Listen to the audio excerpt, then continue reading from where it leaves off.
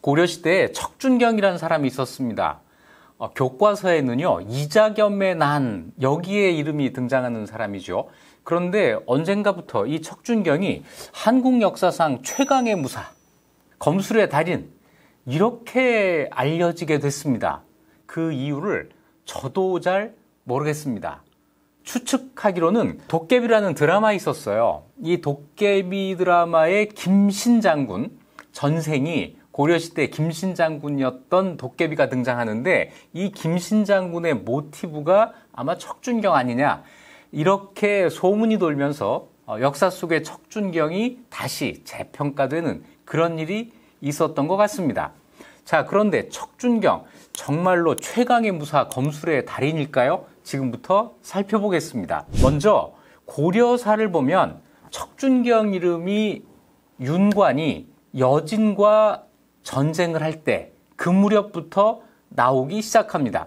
윤관의 구성에서 한번 다뤘습니다만 1107년에 윤관이 지휘하는 고려군 20만이 사실은 17만인데 더 정확하게는 16만 9,300명인데 자 우리 20만이라고 하자 해가지고 20만 대군을 동원해서 동북면 쪽으로 여진을 공격한 적이 있었죠. 자, 이 전투에서 척준경의 이름이 등장합니다.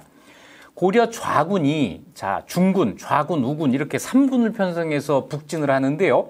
고려의 좌군이 석성을 공격하는데 적이 막아 싸워서 화살과 돌이 비가 내리는 듯하여 저항이 만만치 않았던 거예요. 군사들이 앞으로 나가지 못했다. 그러니까 윤관이 척준경을 불러요. 야, 너 이리 와봐. 하면서 해가 저물면 이거 우리가 시간이 너무 쫓기게 된다. 일이 급하게 될 것이니 내가 장군 이관진과 함께 그들을 먼저 공격해라. 이렇게 특별한 명령을 내린 겁니다. 그러니까 척준경이 또 이렇게 화답을 해요. 제가 일찍이 장주에서 일을 보고 있을 때 잘못을 저질러서 죄를 지게 됐습니다. 그런데 공이 저를 장사라고 하면서 힘센 용사라고 하면서 조정에 용서해 주실 것을 청했으니 오늘이 제가 몸을 던져 은혜를 갚을 날입니다. 그러니까 그 이전에 윤관과 척준경에 뭔가 일이 한번 있었던 거죠. 척준경이 죄를 지은 것을 윤관이 이 사람은 용사니까 아깝다 처벌하면 안 된다 이래서 구제해 준 적이 있었던 거예요. 그것이 어떤 일인지는 지금 밝혀져 있지 않지만 자 이래서 척준경은 개인적으로는 윤관에게 은혜를 갚는다 뭐 이런 자세로 이 싸움에 나간 겁니다. 석성 아래에 이르러서 갑옷을 두르고 방패를 잡은 다음에 적진 한가운데로 혼자 돌입해서 여진 추장 여러 명을 죽였다. 자, 이제 이 대목에서 아, 용맹스런 장군, 최강의 무사, 검술의 달인 이런 이미지가 만들어지는 거죠. 자, 그래서 이제 척준경이 이렇게 여진 추장을 죽이니까 윤관 휘하 부하들이 좌군과 합세해서 여진을 공격하고 죽을 각오로 싸워서 크게 무찔렀다. 자, 척준경이 물꼬를 텄고 그것 때문에 전투에서 이길 수 있었다는 거예요. 그래서 척준경에게 능나 비단 30피를 상으로 주었다. 내 덕분에 우리가 이길 수 있었어. 자, 이러면서 이제 상을 주었지만 사실은 이러면서 척준경의 이름이 떠오르기 시작한 거죠. 전투가 계속됐어요. 자, 이제 구성을 만들고, 그 다음에 어떤 일이 있었죠? 여진이 계속 이 고려의 구성을 공격을 해서 고려군이 수세에 몰리게 되는데, 그때 또 척준경의 활약이 나타납니다. 이 다음 해 윤관과 오연총이 정예군사 8천 명을 거느리고 가한촌 병목에 작은 길로 나갔다. 적이 나무가 우거진 곳 사이에 매복하고 있다가 윤관의 군대가 이르길 기다려서 갑자기 공격을 해오니까 이제 기습을 당한 거예요. 윤관의 군사가 모두 괴멸되고 간신히 10명이 남게 됐다.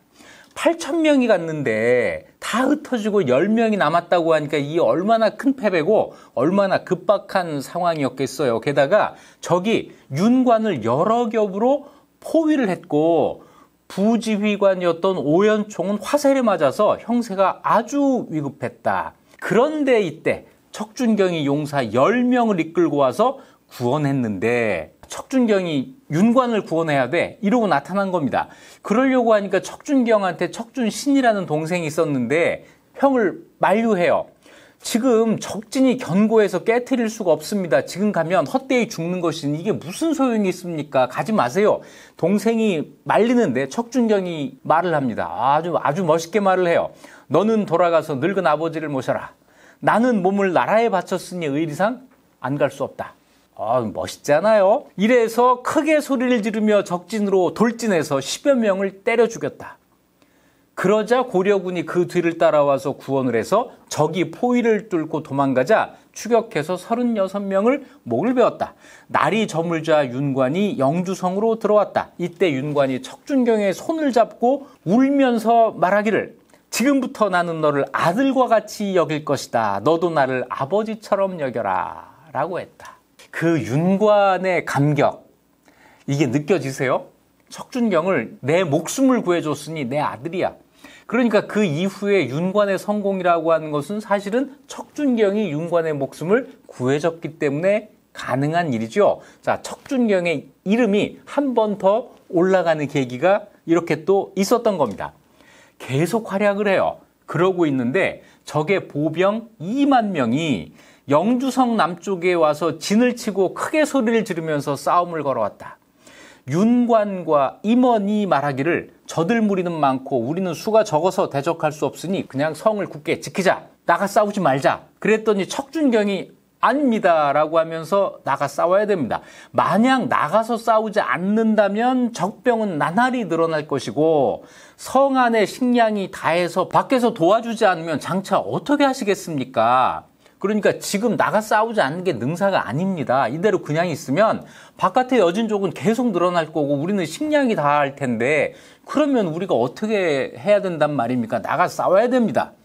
전날의 승리를 여러분 보지 않으셨습니까? 우리 나가 싸우면 이길 수 있습니다. 오늘 또 나가서 죽을 힘을 다해 싸울 것이니 청컨대 여러 공께서는 성에 올라가서 구경만 하십시오.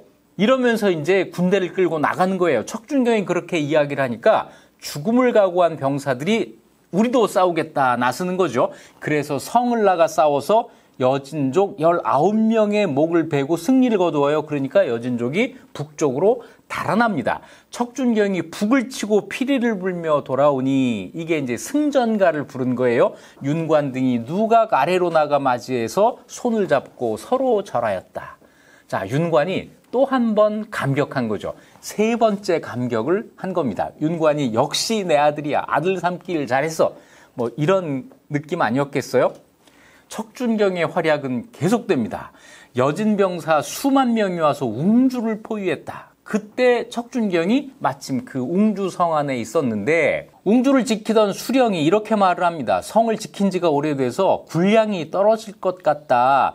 밖에서 도움이 오지를 않으니 공이 성을 나가서 군대를 거두고 돌아와 성안을 구원하지 않는다면 사졸이 한 사람도 남지 않을까 두렵습니다. 자, 그러니까 이렇게 얘기한 거예요. 척준경한테 공이 나가서 좀 군대를 끌고 돌아와서 이 성을 구원해 주십시오. 이렇게 얘기를 한 거죠. 척준경이 병사의 너덜너덜한 옷을 입고 변장을 하고 밤에 줄을 타고 성에서 내려와서 정주로 가서 군대를 정돈해요. 그리고 이 군대를 이끌고 통태진을 통과해서 야등포에서 길쭉까지 오면서 적을 만나 크게 패배시켰다. 이래서 이제 웅주를 구원하게 된 건데 그때 성한 사람들이 감격해서 울었다. 네 번째 공을 세운 거죠. 이러면서 척준경의 명성이 올라가게 되는 거예요. 그래서 이때 정말 혼자 가서 적의 추장을 때려 죽이고 군대를 끌고 와서 한 성을 구원하고 이런 것 때문에 무사 척준경, 용사 척준경 이런 이미지가 만들어진 거죠. 자, 실제로 척준경이 정말 싸움을 잘했던 것 같아요. 그런데 척준경이 어떤 검술의 달인이었는지 이런 것들은 전혀 알려진 바가 없습니다. 어, 싸워서 이겼으니까, 잘 싸웠으니까 검술의 달인이겠지. 뭐 이 정도 생각하는 거겠죠. 꼭 검을 가지고 싸웠다. 이런 말도 없습니다. 자, 싸움 잘하는 용사 척준경. 이것만은 하지만 분명합니다. 자, 이 척준경 어떤 사람일까요? 인적상 조사해 보겠습니다. 본관은 곡주, 황해도 곡산입니다. 그래서 곡산 척씨가 되는 거죠. 세종실록 지리지에서 이 곡산의 성씨를 조사해 보니까 토성이 6개가 있는데 토성 가운데는 척씨가 없고 망성이라고 해서 고려 시대는 있었는데 세종실록 지리지를 편찬할 조선 초기에는 없어진 성을 뜻합니다. 이 망성 가운데 척씨와 전씨 둘이 있습니다. 자, 그러니까 조선 초에는 없어졌지만 고려 시대에는 곡산에 척시가 있었던 거죠. 곡산에서 선조는 향리였다. 곡주리였다. 이렇게 나와 있습니다. 곡주의 향리 집안에서 태어났는데 그런데 고려사에 척준경 열전이 있거든요. 이걸 보면 집이 가난해서 공부를 하지 못하고 무례배들과 어울려 놀다가 서리 자리를 구했지만 얻지 못했다. 이런 말이 나옵니다. 이거는 그대로 믿기가 어렵습니다. 왜냐하면 곡산의 향리잖아요. 향리라면은 어느 정도의 경제 기반이 있다고 봐야 돼요. 그렇다면 집이 가난해서 공부를 하지 못한 게 아니라 공부를 하기 싫어한 사람인 거죠. 어려서 공부 안 했다. 공부 안 하고 뭐 했을까요? 무례배들과 어울려 놀았다. 이 무례배가 뭐예요? 동네 깡패들이에요. 이거를 그 깡패라는 말이 나오기 전에는 무례배라고 불렀습니다. 그러니까 어릴 때는 공부 안 하고 저 깡패처럼 놀러 다니고 싸우고 뭐 이러고 다니고 이랬던 거예요. 그러면서 꿈은 커서 서리 자리를 구했어요. 이 서리는 뭐냐면 중앙관청의 행정실무를 보는 사람입니다. 젊은 시절에 척준경이 고향 곡주를 떠나서 개경으로 간 거예요. 그래서 거기서 놀면서 내가 서울의 관청에서 일자리 하나 구해볼까? 이런 건데 이거 당연히 안 되죠. 이게 뭐 중앙에 서리 자리가 그렇게 뭐 맨입으로 얻어지는 자리입니까? 그래서 빈둥빈둥 놀고 나쁜 친구들과 어울려 다니고 뭐 그 자체가 나쁜 친구였을 수가 있겠네요. 그러다가 어렵게 직장을 구합니다. 그게 뭐냐면